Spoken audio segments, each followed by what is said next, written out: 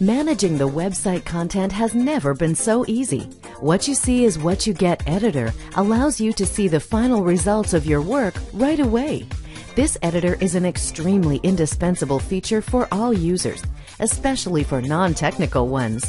It allows you to add the content to your website several times faster and easier and reduces the qualifying requirements to the people who work with it. Outwardly, everything is as simple as in Word. You can add text, highlight it, change fonts and colors, drag and transform, change the text space and direction. The editor also allows you to add images, videos, shape objects, flash elements, etc. In short, you can do everything you need with the content.